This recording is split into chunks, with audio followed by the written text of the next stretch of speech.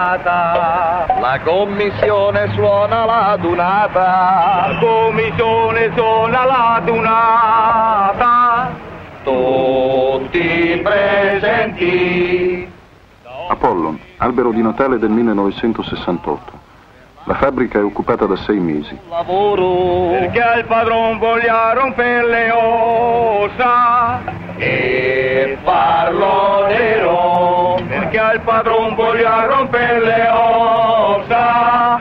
E parlo nero. La lotta dell'Apollo è diventata. Per i lavoratori il loro emblema. L'Apollo è una grande barricata. Contro il sistema. L'Apollo è una grande barricata. Sistema. Se rise siamo uniti fino in fondo. Concluderemo questa nostra storia. E sorgerà per noi un nuovo mondo. Con la vittoria. E sorgerà per noi un nuovo mondo. Con la vittoria. Una società che sia più giusta. Combatteremo il capitalismo. Ci batteremo fino alla conquista del socialismo. Ci batteremo fino alla conquista del socialismo.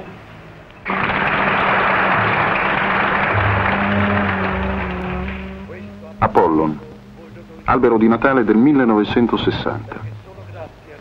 Per raccontare la storia delle lotte degli operai dell'Apollon, la storia di una difficile scalata attraverso livelli differenti e progressivi della coscienza politica e sindacale degli operai, è necessario cominciare da qui, dal boom, dal padrone di tipo vecchio, dal padrone barone, che a Natale sa toccare le corde giuste, sa commuovere gli operai.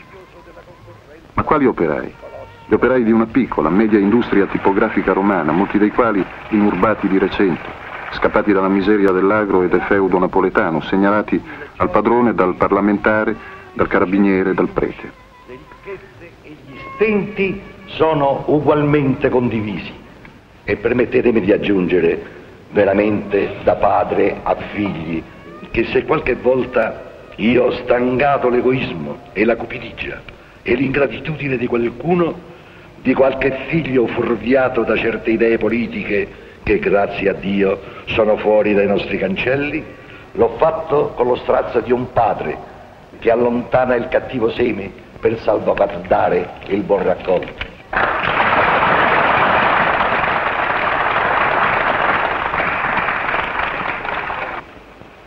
È facile tenerseli buoni questi operai, ancora spaventati dalla fame e dalla grandine. È facile sfruttarli, imbrogliarli, dividerli, confonderli. Nel periodo di cui parliamo, l'Apollon dà lavoro a 500 operai, buona parte dei quali appartiene al tipo descritto.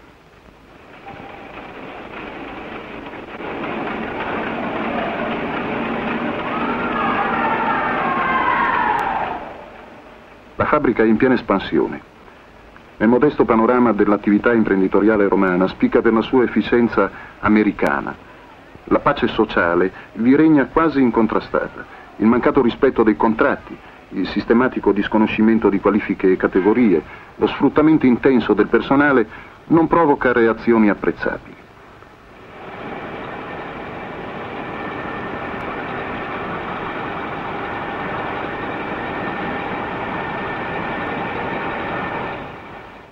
Una minoranza combattiva di operai si trova di fronte una massa spoliticizzata e scarsamente qualificata, insensibile spesso agli appelli di lotta per la difesa dei diritti più elementari, obbediente al caporeparto e devota al padrone padre, rappresentata da una commissione interna gradita alla direzione, eletta, diretta, corretta dalla direzione. I suoi membri, quando vanno dal padrone, non osano mettersi a sedere e nessuno, d'altra parte, li invita a farlo. Vi vedo sempre volentieri, perché dalle vostre facce mi accorgo subito se c'è qualche cosa di nuovo in fabbrica. Io conto molto sul fatto che mi informiate immediatamente di qualsiasi cosa potrebbe turbare l'ordine della produzione, il morale degli operai. Il lavoro che devono svolgere gli elementi operai più preparati per suscitare nella base una minima volontà di lotta è pertanto un lavoro assai difficile.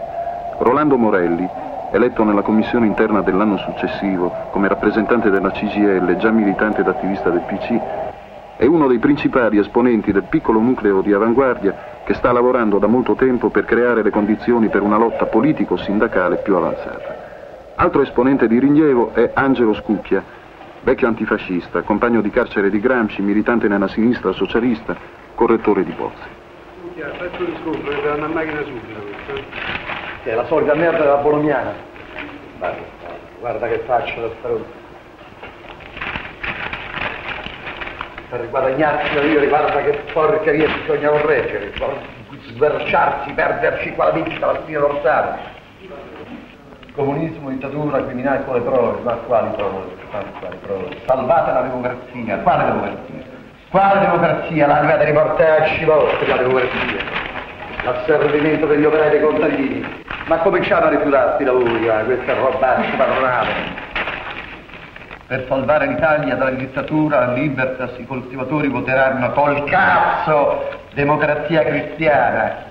Democrazia, quale democrazia? Quella dei padroni, degli agrari, degli sfruttatori. Quando da venire elezioni, aprite gli occhi anche voi, aprite gli occhi, cominciate a rifiutare questa merda, va. Combattiamo lo sfruttamento, il sistema, i veicoli di infezione, di inganno dei lavoratori e siamo noi a spamparli. Vota Paolo Boroni. Vaffanculo, vota Affogassi. Che è pronto, è pronto, maledetto, è pronto. Senti, abbiamo già avvi- avvisato tutti i reparti.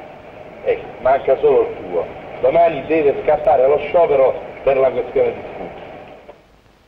Con una lunga e paziente azione capillare, Scucchia, Morelli e pochi altri sono riusciti a convincere una certa quantità di operai dell'opportunità di uno sciopero a breve scadenza per ottenere il rispetto delle norme contrattuali sistematicamente violate.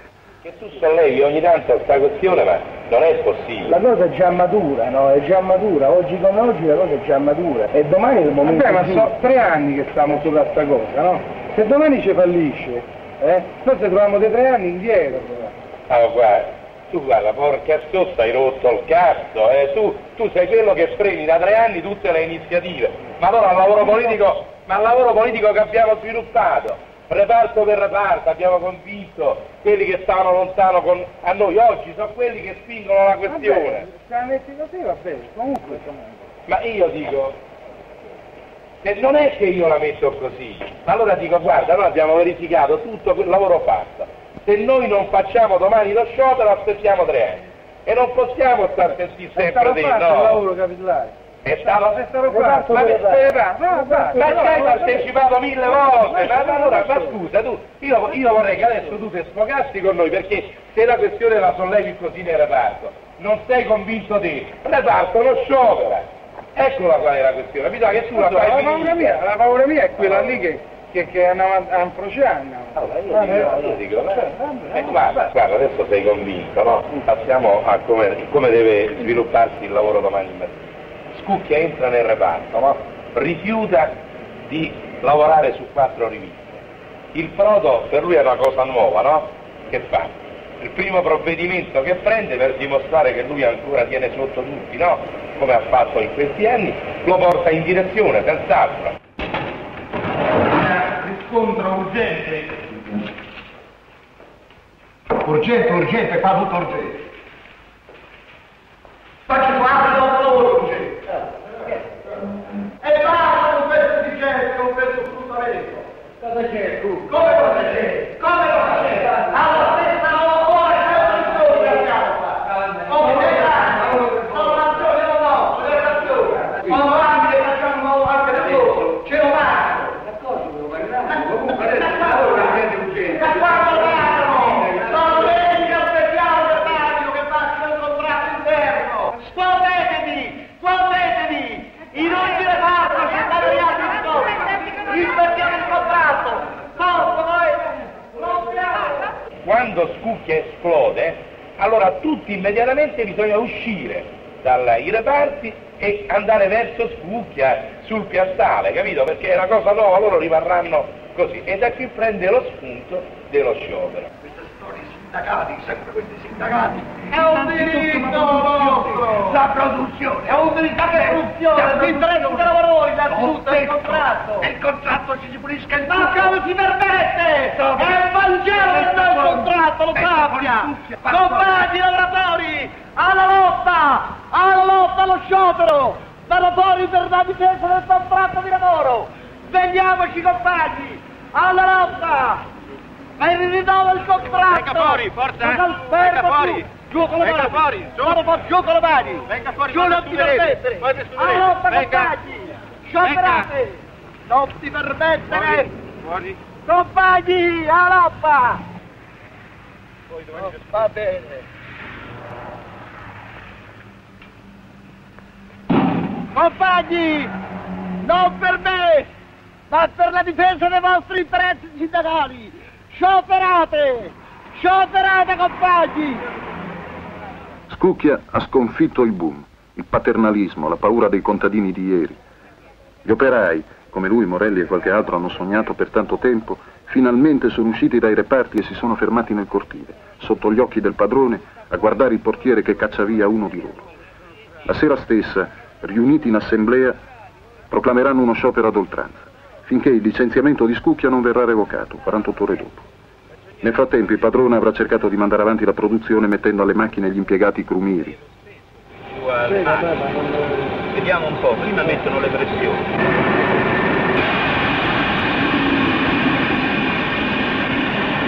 Ah, ah, la marcia, la marcia, stai. La marcia, non la vicina alla marcia, E questa qui col segno, ecco, sì, col segno, faccio io. ce la dobbiamo Sì. ricordare. Sì, facciamo, eh, proviamo. Per fermarla eventualmente se succede qualche Eh, guaio. questo lo sto, lo sto, Lo ecco, stop, per quello lo quello, no, no, eh, no. ragioni. Proviamo. Sì. Bene, la, la bene, bene.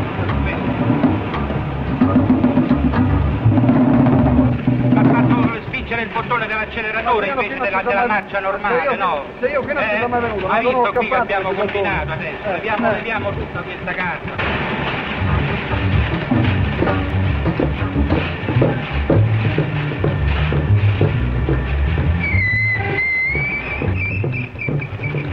Guardi un po' qui che abbiamo fatto, guarda.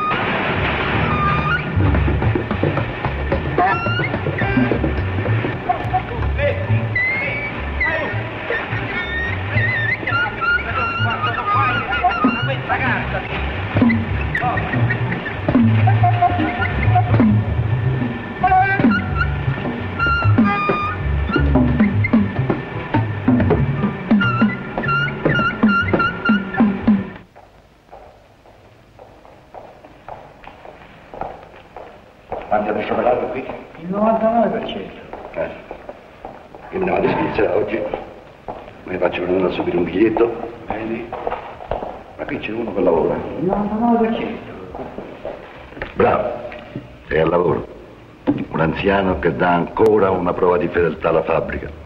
Questa grande famiglia. Come ti chiami? Mantuano. E quando vai in pensione? Tra un mese. Ti faccio i migliori auguri.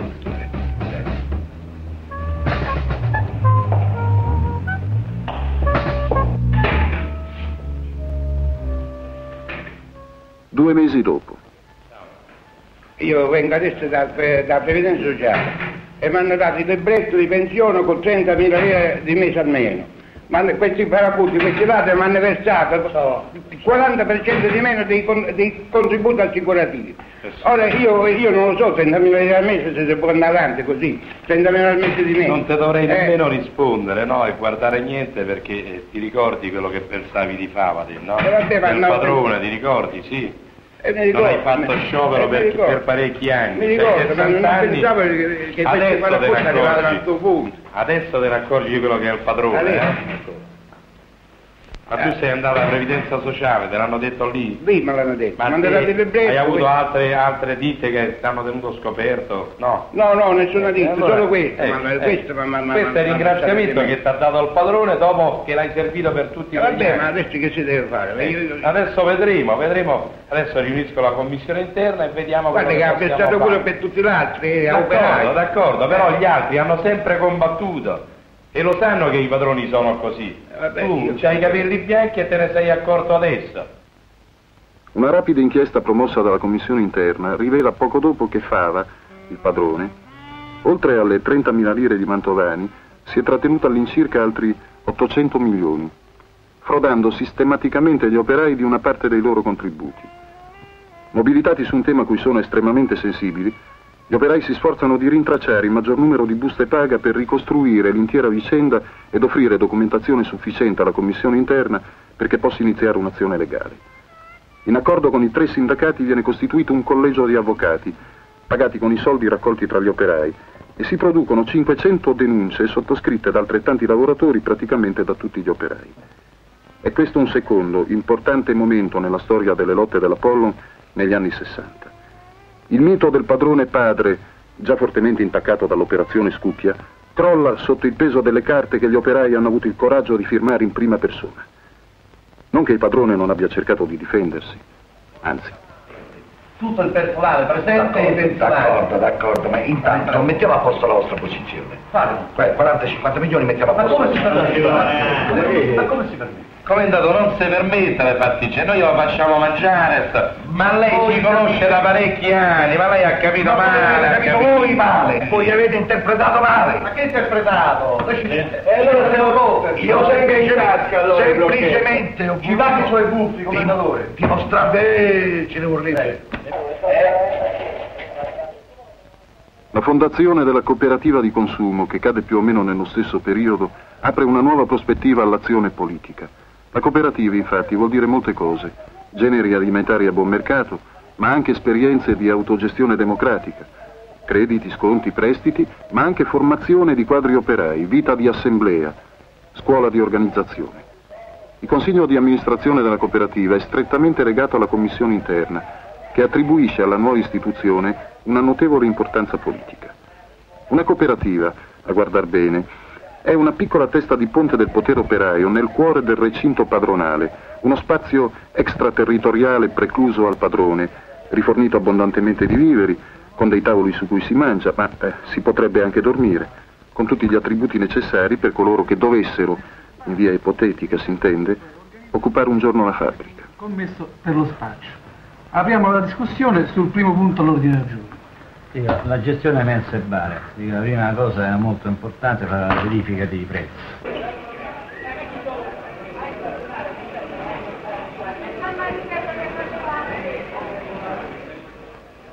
La cooperativa gestisce anche un bar che si affolla ogni mattina per 10-15 minuti prima dell'orario di lavoro. Gli operai possono conoscersi e parlare. Atomizzati e dispersi per il resto della giornata, in questi momenti si collegano tra loro e con i loro dirigenti sindacali, che sfruttano l'occasione per svolgere un intenso lavoro politico.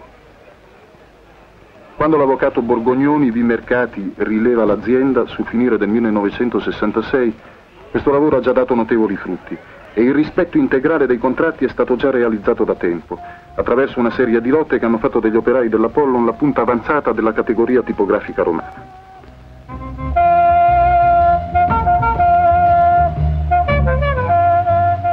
L'avvocato Borgognoni non è un imprenditore tradizionale, un capitalista di fabbrica, ma piuttosto un maneggiatore di finanze. Egli succede a una teoria di gestori che si sono avvicendati per cinque anni di seguito dopo il ritiro di Fava. Il suo primo incontro con la commissione interna dell'Apollon si svolge a mezzanotte. Gli operai lo ricordano ancora oggi con precisione.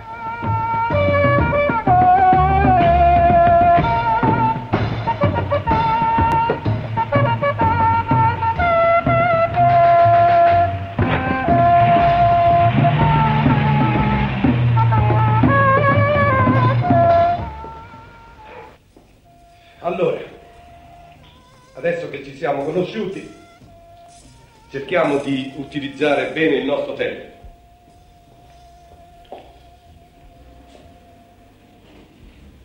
Voi sapete qual è l'andamento dell'azienda, però io intendo dare e imprimere una svolta nuova, vigorosa a questo tipo di azienda. La concorrenza vuol dire che noi dobbiamo essere in grado di schiacciare anche Mondadori, perché io so come si fa a Allo scetticismo degli operai fa da contrappunto l'ossequiosa attenzione di questi due personaggi, che sono i collaboratori di fiducia del nuovo padrone. che avete conosciuto. Io sono sensibile alle cose del terzo mondo. Noi possiamo portare queste nostre pubblicazioni anche là. Capite cosa voglio dire? Si tratta però di trovare un accordo ben preciso. Dobbiamo convincerci tutti che possiamo qui schiacciare rizzoli e mondatori. Ma se non collaborate, se mettete dei bastoni tra le ruote di questo mio progetto, è evidente che io non posso non agire con la stessa forza che agisco nella stessa mia famiglia.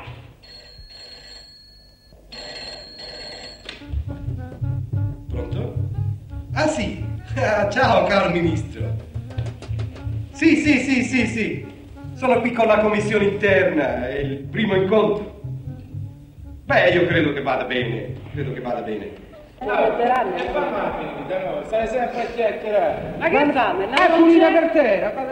Il piano di sviluppo e di potenziamento dell'azienda, annunciato con tanto vigore dal nuovo proprietario, tarda a manifestarsi. Si verificano, al contrario, alcuni episodi che sembrano indicare una tendenza completamente diversa. Il lavoro si interrompe all'improvviso, in questo in quel reparto per alcune ore, e questi vuoti vengono registrati scrupolosamente sui cartellini personali degli operai che passano il tempo a pulire le macchine. Col passare del tempo, questi fenomeni si intensificano e le cause appaiono sproporzionate. Si accantonano apparecchiature costose e deficienti per la mancanza di parti di ricambio facilmente reperibili e di costo irrisorio. Altre macchine subiscono danni gravi poiché se ne sospende la manutenzione. Si interrompono cicli di lavoro perché manca l'inchiostro e la carta e nessuno si preoccupa di rifornire i reparti. I clienti se ne vanno uno dopo l'altro. Gli operai colgono frammenti di sfoghi, di proteste. Sembra che in direzione le cose si svolgano nel caos, che nessuno dia ascolto alle proteste dei committenti, che richieste di preventivi vengano cestinate. Il volume della produzione cala con una rapidità spettacolare. Si calcola che il fatturato mensile sia disceso in un periodo brevissimo da 260 a 60 milioni.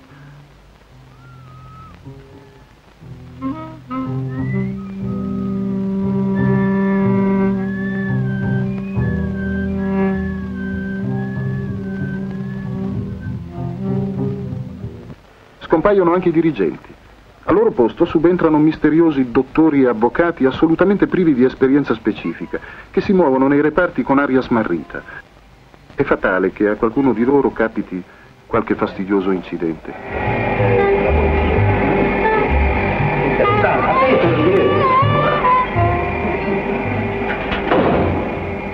Si fa strada, tra i membri della commissione interna, il sospetto che il padrone abbia dato l'avvio a un processo segreto di smobilitazione della fabbrica, legato ad una complessa manovra economico-finanziaria di cui non si riescono ad intravedere i contorni precisi. Si cominciano a interrogare tutti coloro che possono fornire qualche notizia su Borgognoni, sui suoi contatti, i suoi spostamenti. Si cerca di carpire ogni informazione possibile che contribuisca a scoprire i piani del padrone. Quanto ore sta dentro all'ufficio il signor Qui sta due o tre orari, minimo due ore. Poi è bello che si può fermare sul posto a Napoli, si può spostare qua e là, ma c'è. Pietro Corosaniti, rappresentante della CISL in commissione interna, ha il compito di segnalare le apparizioni di personaggi estranei al giro consueto e di scoprire qualcosa sul loro conto. Si è convinti che nell'operazione per liquidare l'Apollo ci sia anche lo zampino di pesci molto più grossi dello stesso Borgognoni e si cerca ansiosamente di sapere chi siano. Eh, senti un po', ma com'è che questo tra quattro giorni che il passo è giù? No, guarda che ti sbaglierei. Dai, Gigi, non so, No, eh, te svegli, te svegli. Ma non fai finto tonno, tu qui c'ha tutto il giro delle portiere, usciere, segretarie, ma chi è? Lo conosci? Tu ti svegli. Ma io mi sbaglierò, ma tu lo sai chi è? Questo è un funzionario della Cassa del Mezzogiorno. Era un funzionario della Cassa del Mezzogiorno. la Cassa del Mezzogiorno? Cassa del Mezzogiorno, io ho scritto pure il nome di sto tizio. Adesso non lo trovo, va bene. Però qui è evidente che c'è qualche cosa, perché qui su via Tiburtina la Cassa del Mezzogiorno non mi risulta che operi, no? C'è l'altra informazione dell'impiegata, no? che addirittura qui ci dovrebbero fabbricare un grattacielo. Senti, secondo me bisogna uscirne fuori bene qua, perché noi poi dovremmo avere anche le prove per presentare domani questo. Io farei una proposta qui. Ecco, io prenderei addirittura un investigatore privato. Addirittura l'investigatore privato. Guarda, guarda che l'investigatore privato significa avere in mano tutta una testimonianza su quello che lui vuole fare. Si vede no? che legge i libri gialli quando fa Adesso io, guarda, io, io leggo i libri gialli e leggo anche i versi. Già siamo accusati di andare oltre i compiti nostri, no? Che la commissione interna deve fare certe cose e non fare.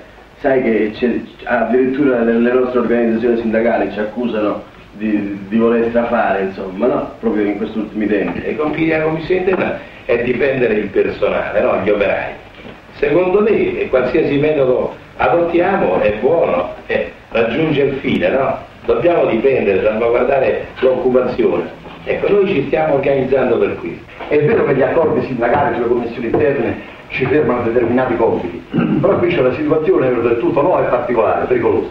Quindi, come elementi dirigenti dal punto di vista unitario e direi anche politico delle nostre maestranze, noi dobbiamo affrontare serenamente, coscientemente anche questo compito che ci ha, ci ha proposto il compagno. Noi ai sindacati non, non gli dobbiamo dire noi abbiamo preso l'investigatore, noi gli presentiamo il papiere, sono affari nostri come non l'abbiamo trovato questo, no? Io poi mi sembra che abbiamo portato fino adesso una lotta più avanzata degli stessi sindacati nostri, lo diciamolo chiaro. insomma. Allora a questo punto, a sto punto o decidiamo pure di litigare con loro quando ci vengono a raccontare certe cose o decidiamo di andare avanti secondo, Ah, secondo le esigenze. Noi daremo in mano ai stessi sindacati che ci vengono lì a rappresentare, contesteremo i licenziamenti o qualsiasi iniziativa con le prove che noi avremo con Vabbè, l'investigatore. questo può essere anche giusto, no? ma ci possiamo fidare no, di un investigatore, un investigatore privato, che sappiamo?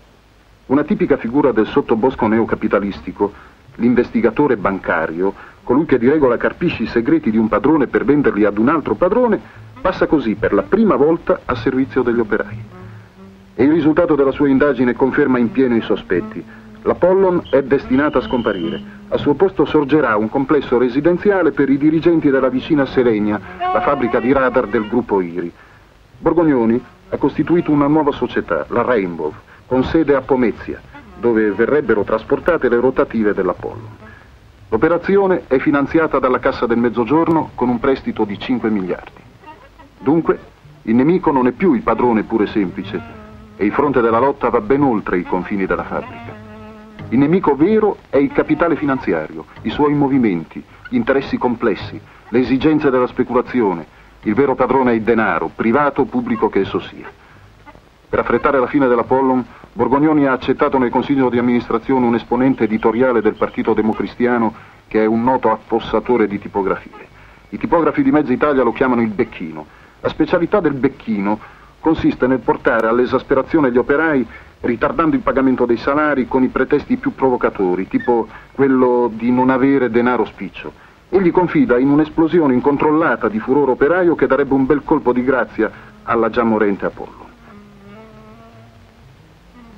Morelli e gli altri lo sanno e si sforzano di tenere a freno la base, potenziando la rete clandestina dei delegati di reparto. Allora, guarda che mi serve qua. Eh, come faccio questo Stai titolo fa per presto, 12? Che gente sta aspettando. Eh, sì. Ho saputo che non pagano neanche 12. E porca Sì, puttana. c'è quel gufo là, si non ci sente, senti, non dovremmo fare il gioco del padrone, dovremmo staccarvi. Ma a me qui mi sembra che qui a giocare il padrone sta per proprio la commissione interna, guarda. Ma no, non è così, guarda, anzi cerchiamo da tagliare. Ma qui, guarda, qui, qui siamo arrivati al punto che qui fanno sfasciare tutto e c'hanno ragione, guarda, perché qui sono Cerchiamo tutti seguire la linea della commissione interna, no? Perché sennò se cade nel, nel gioco del padrone. Vabbè, a me mi sembra, come ti ripeto, a me sembra che la commissione interna è un po' troppo calma, guarda. Ma non è così, non è così, guarda, non è. Ecco, facciamo opera di persuasione pure con gli altri colleghi in base a questo qua, no? Ecco, cerchiamo di seguire una linea comune, capito? Vabbè, allora faremo sempre come al solito, cercheremo di convincere altri, vediamo un po' a che punto arriviamo, va. Compagni, colleghi, siamo adesso venuti giù dalla direzione dove ci hanno annunciato ancora una volta che i salari saranno pagati tra tre giorni. Un momento, un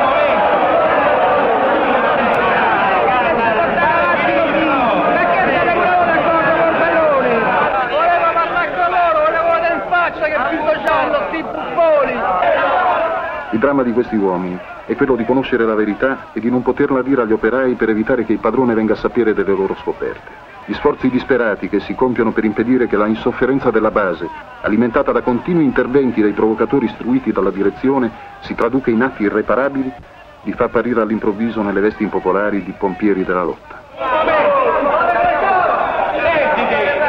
Ma questa è la fiducia che voi avete di noi.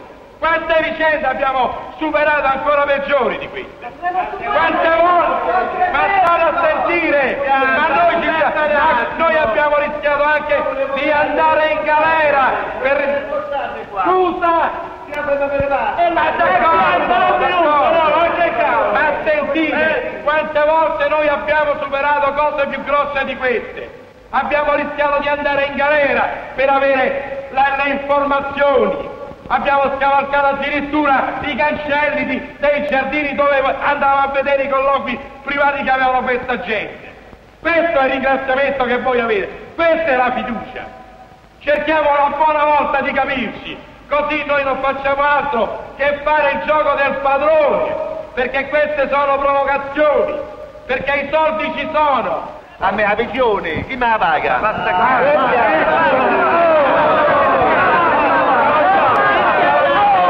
Se manca solo vestito preti, famo sciopero!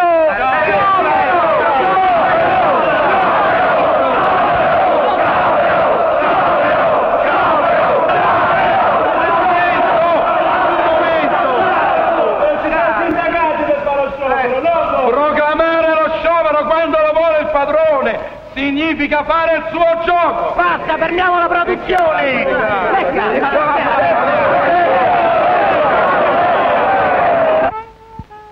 La direzione tenta di far precipitare la crisi promuovendo una violenta campagna contro la commissione interna, nei cui tenaci appelli alla calma e alla moderazione ha individuato l'ostacolo principale ai suoi disegni.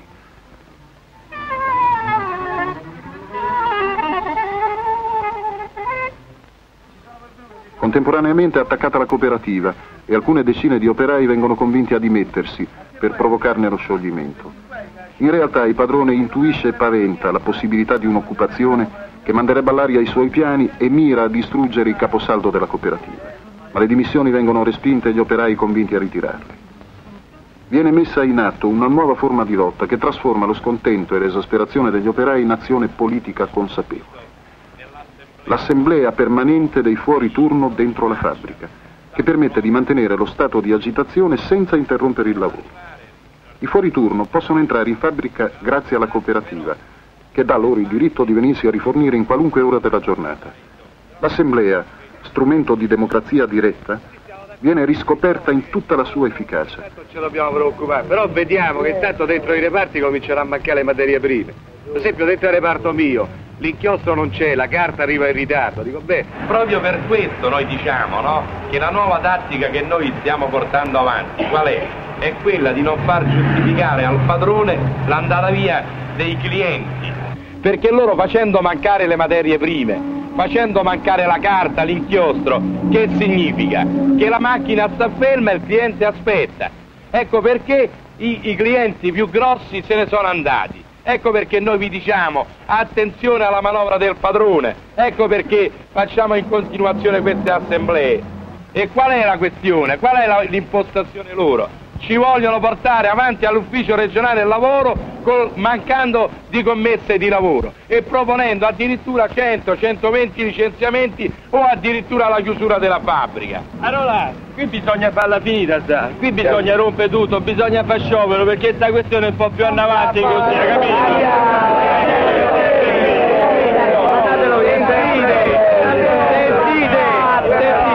Guarda, tu bisogna che la fai finita, no? Se no qui noi mettiamo in dubbio anche la tua funzione.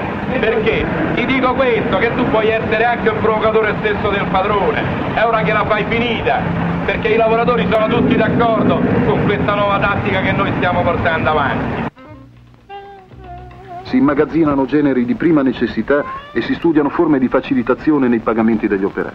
Ormai la lunga guerra dei nervi con il padrone si svolge alla luce del sole e le intenzioni reciproche si fanno palesi. Mentre gli operai scaricano cassette di viveri, i padroni dall'altra parte del cortile caricano i libri contabili.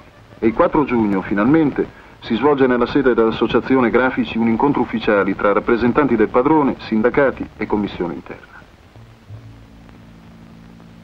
Voi avrete già capito perché vi abbiamo convocati qui oggi, perché il Consiglio di amministrazione ha deciso di sciogliere la sua riserva sulle sorti dell'azienda e di comunicarvi quindi che la società tipografica da ieri si è trasformata in società immobiliare. Immobiliare, immobiliare,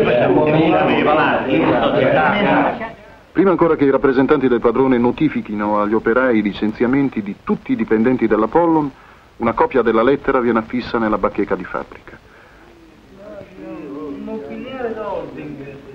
Cacci loro, vieni a poco, vieni a poco, vieni a poco.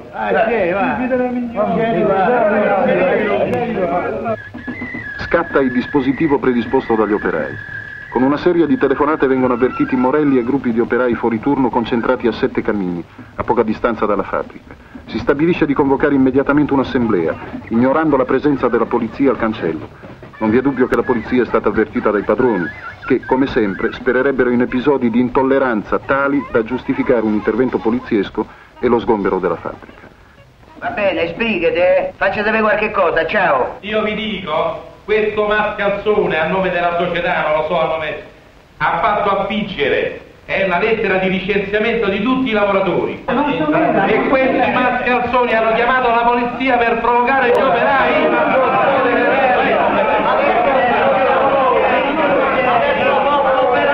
Noi nella Polo ve lo impediremo, vi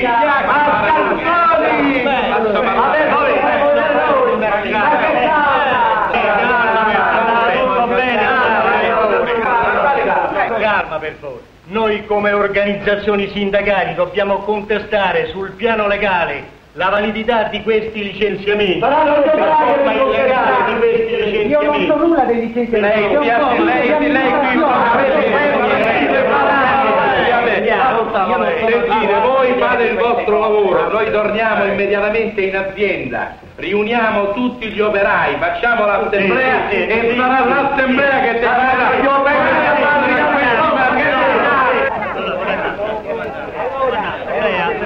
Padre Bassano. Padre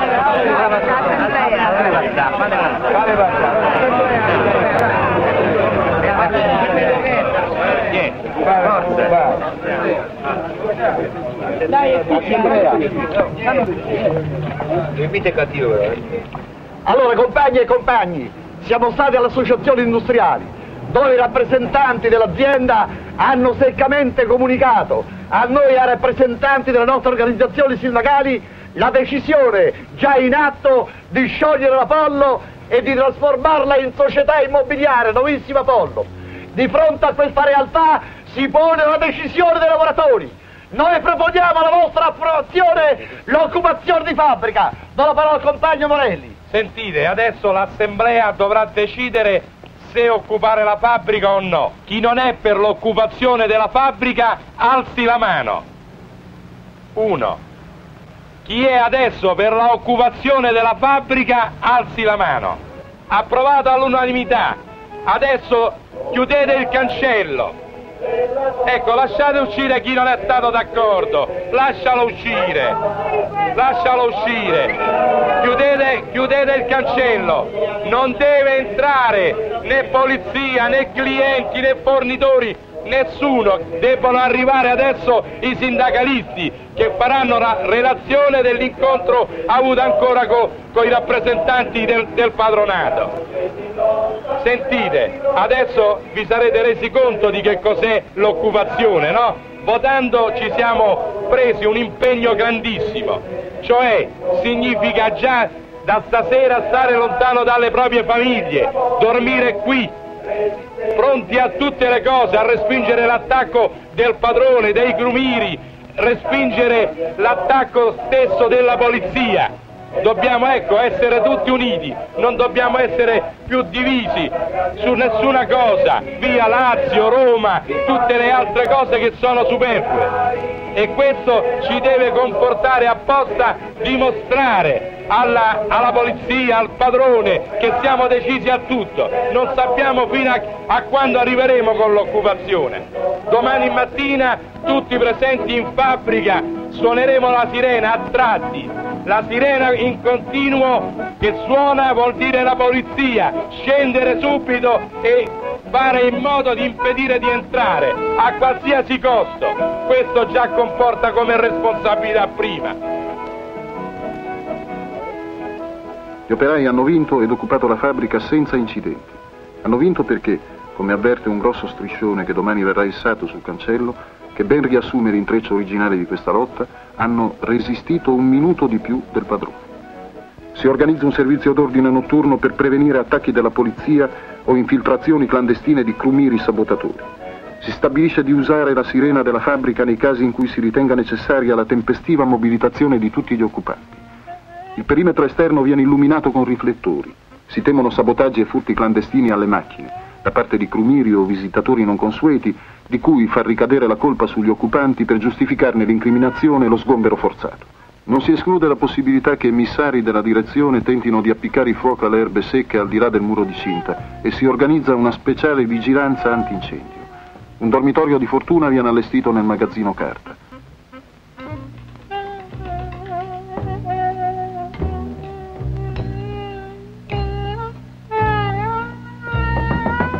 All'occupazione hanno anche aderito numerosi impiegati, che daranno un contributo notevole alla soluzione dei complicati problemi amministrativi che gli occupanti dovranno affrontare quasi subito.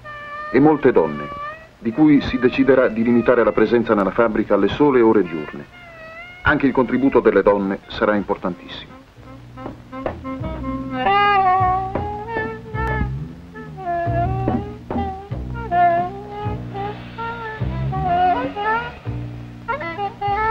L'organizzazione interna dello stabilimento viene messa in piedi a tempo di primato.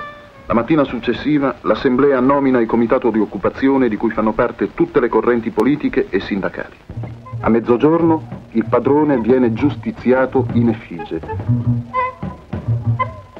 Comunicazione del signor Presidente agli operai dell'Apollo. Roma, 5 dicembre 1967.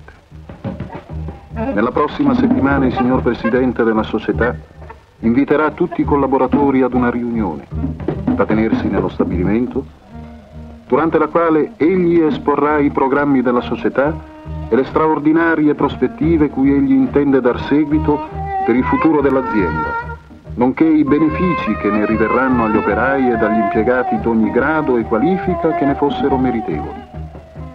Nella circostanza, il signor Presidente intende chiarire, ed una volta per sempre, gli eventuali malintesi che fossero insorti per effetto di equivoci e di errate interpretazioni o di pregiudizi che potessero ostacolare il processo di risanamento e di esaltazione dei valori aziendali che costituiscono gli obiettivi alla cui realizzazione la direzione si sta prodigando, senza risparmio di sacrifici e di energie.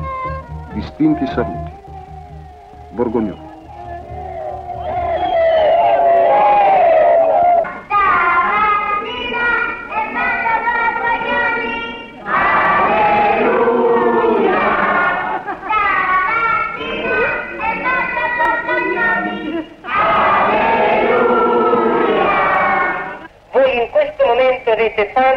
Di giustizia. La giustizia per il mantenimento del vostro posto di lavoro, la fame per una giustizia più... Il cappellano del lavoro ha ottenuto dall'Assemblea il permesso di celebrare in fabbrica. Che voi avete assunto in questo momento, io credo di non andare errato se dico che oltre che essere a difesa del vostro lavoro è anche un apporto enorme per tutti coloro che oggi o domani potrebbero trovarsi nelle vostre situazioni, ma è soprattutto evangelico, è soprattutto nello spirito del Signore. Gli operai custodiscono lo stabilimento con cura scrupolosa. Vengono create squadre addette alla sorveglianza, squadre per la manutenzione e la pulizia periodica dei macchinari. Solo il parcheggio subisce una leggera trasformazione, diventando un campo di pallavolo. Si inizia una intensa attività per la raccolta di fondi e di viveri destinati agli occupanti e alle loro famiglie. Ora più che mai è necessario resistere un minuto di più del padrone. Incominciano ad affluire i primi aiuti raccolti dagli operai un po' dovunque. Nei quartieri si formano comitati di solidarietà promossi dalle sezioni del Partito Comunista e costituiti soprattutto da giovani che danno un forte impulso a queste iniziative. Ma gli operai si accorgono presto che la lotta va combattuta anche e principalmente sul terreno dell'informazione. È necessario che la cittadinanza conosca i reali motivi della lotta dell'Apollon. Bisogna organizzare, inventare una controinformazione che squarci la barriera del silenzio televisivo e dei quotidiani borghesi. Questa mensa diventa una sala per conferenze stampa, un'aula per dibattiti, una platea per attori che vengono a recitare e a cantare, una sala di proiezione per cineasti e studenti che portano documenti filmati sulle lotte operaie studentesche, un ambiente per cerimonie in onore di delegazioni in visita, come questa, di sindacalisti francesi accolti con applausi e con gli slogan di Combendit. Ricordate il primo maggio a Berlino, ricordate il primo maggio a Roma, ricordate quelle manifestazioni in cui migliaia e migliaia di operai sono scesi in lotta a fianco degli studenti. Febbraio a Nanterre quelle avvisaglie esemplari trovano la loro eco, rifiutando ogni conquista parziale anche se detta rivoluzionaria, un pugno di studenti raggruppati in movimento si getta a fondo nella lotta mettendo in discussione radicalmente il problema del potere. Organizzando la paralisi delle istituzioni essi obbligano la repressione a smascherarsi.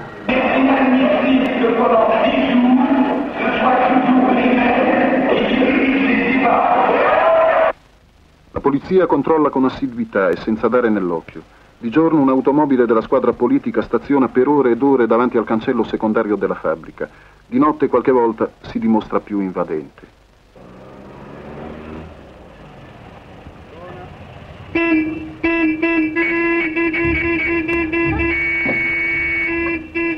Che c'è? Aprite il cancello per favore. Non ho la chiave! Valla a prendere. Eh, non so dove sia! Avanti, domanda. Vai a cercarla. Ma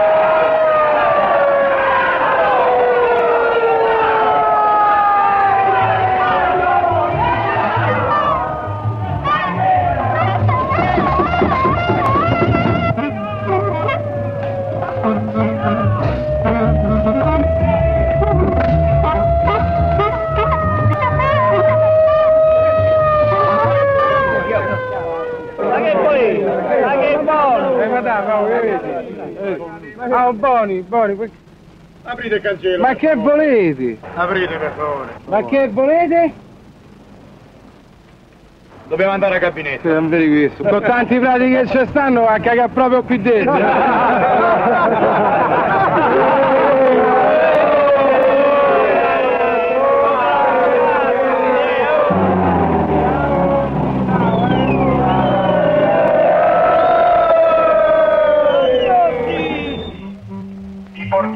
saluto di 320 operai che occupano la fabbrica. La presenza di delegazioni dell'Apollo nei cantieri, all'uscita delle fabbriche delle scuole, nei quartieri, ai mercati generali e all'università provoca una crescente solidarietà popolare.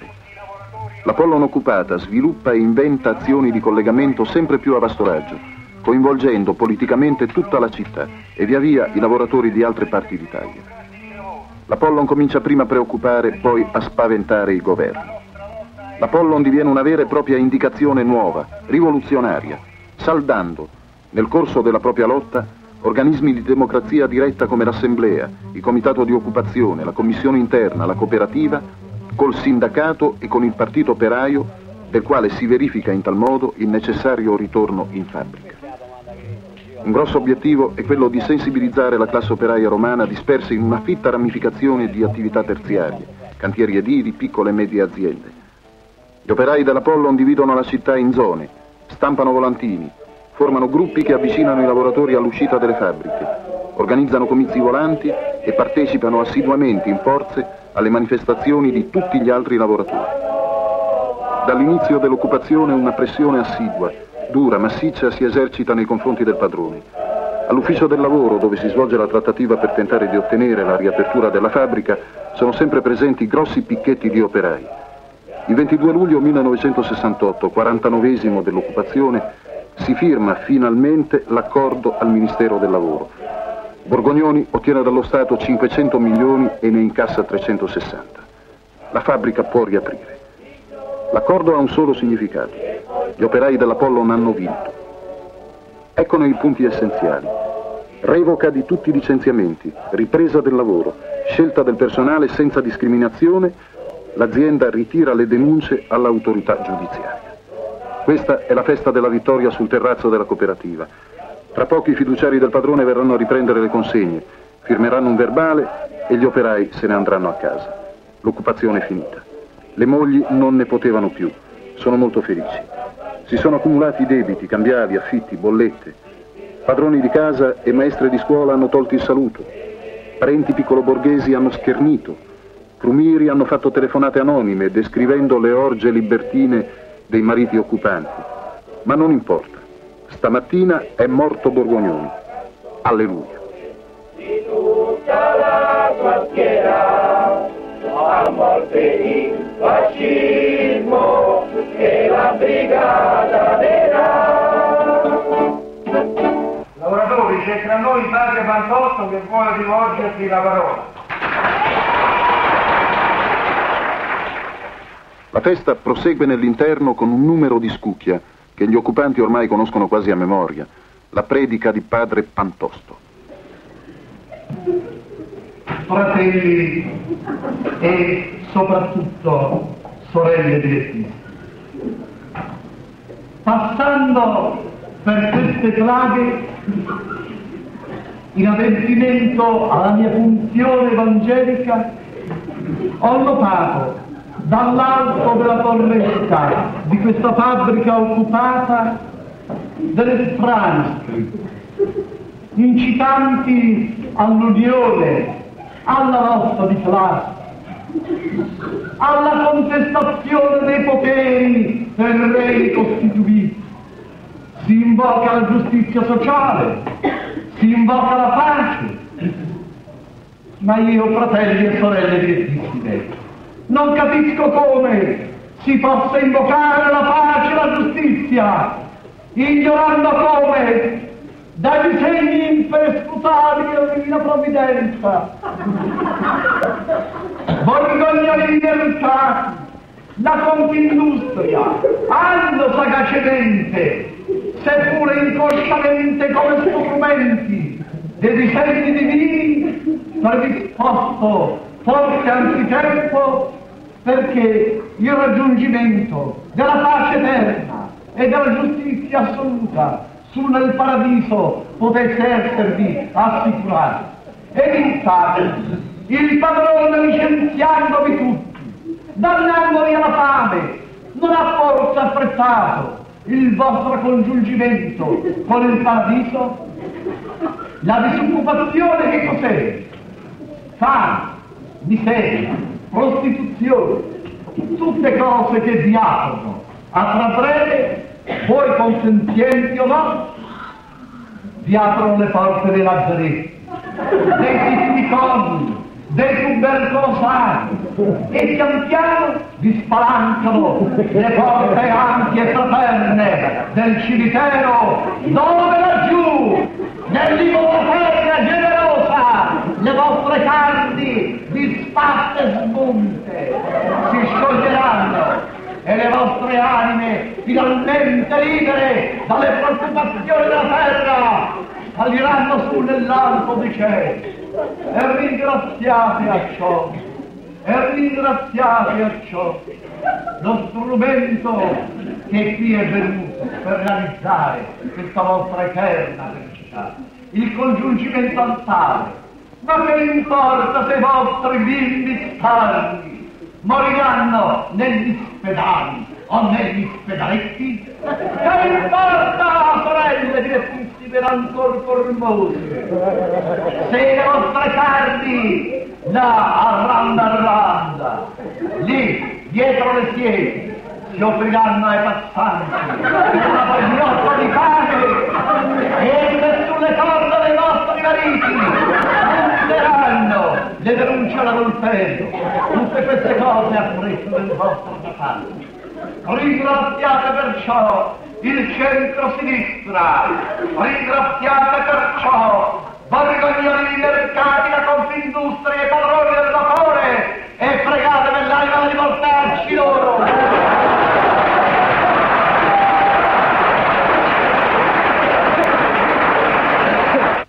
Ma come non firmate?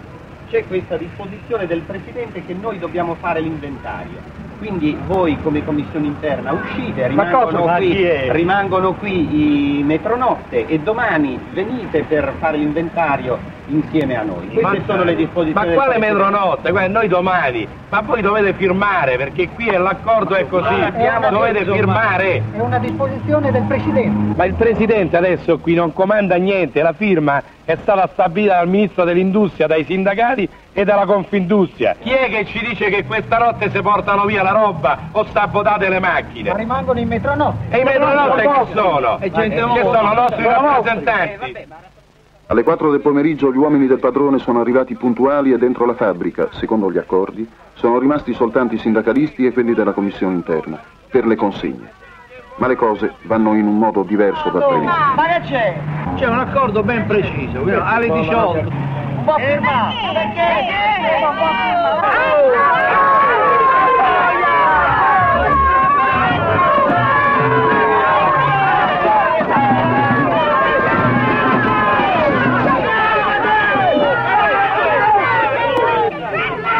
Voi siete responsabili di quello che accadrà qui. Noi rappresentiamo il Presidente qui.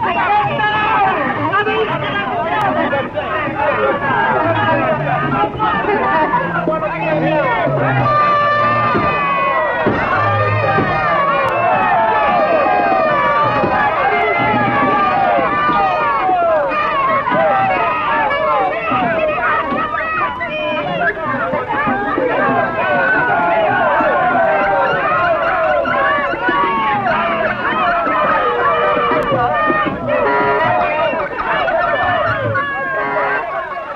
fine i padroni hanno firmato gli operai hanno passato le consegne ai metroni.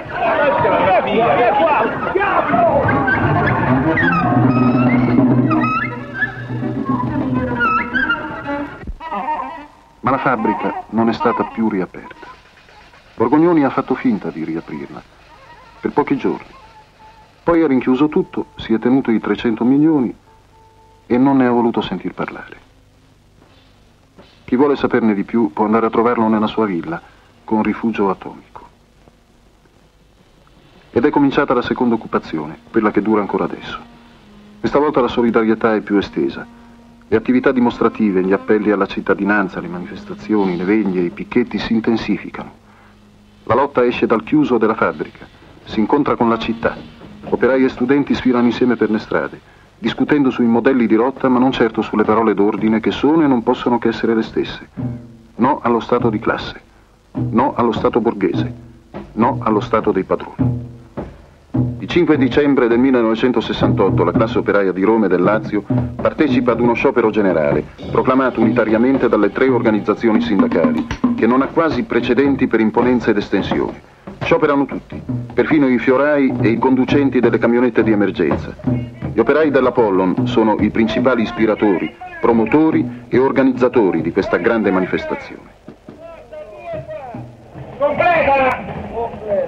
Allora forza, gira, Cambarora e il. Lontani dalla città, consapevoli dei limiti che l'ubicazione periferica della fabbrica recherebbe alle loro iniziative dimostrative propagandistiche se essi non decidessero di spostarle nel cuore di Roma, gli occupanti organizzano il picchetto quotidiano a Piazza Colonna. Ogni giorno il picchetto raggiunge Palazzo Chigi e si piazza per quattro ore, col solo con la pioggia, sotto le finestre del capo del governo. Molti cittadini si fermano, domandano, discutono.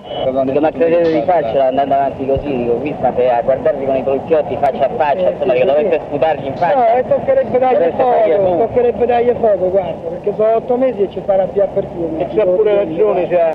No, ma io penso che la lotta vada avanti bene perché noi abbiamo provocato lo sciopero generale a Roma, adesso blocchiamo qui l'entrata dei, addirittura del, del ministro Rumor che è costretto a passare per la, per la porta di servizio. Poi per quanto riguarda la giustezza della lotta e lo scopo che ci pre- prefiggiamo è stato quello proprio di bloccare l'idea dei padroni, il piano padronale di, di far chiudere altre fabbriche. Apposta resistiamo otto mesi perché se noi ammolliamo non è per integrarci al sistema, Ma sì, ma per, per- ma se voi insistete su sto, non è giusto, perché ma devo dire che non capite un cazzo. Ah, no, è questo che voi non riuscite a capire, no? Noi diciamo battere Borgognoni significa battere tutti i padroni d'Italia e dare l'indicazione a tutti i lavoratori italiani che se noi ci mettiamo proprio, ecco, ci uniamo come abbiamo fatto noi, che abbiamo raccolto 60 milioni da tutti i lavoratori romani, significa che sono tutti pronti a battere i loro padroni.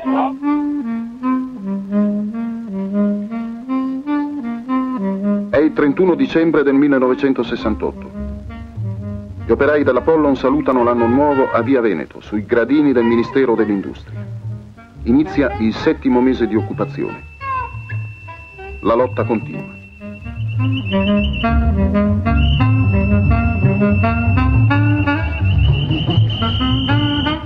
you.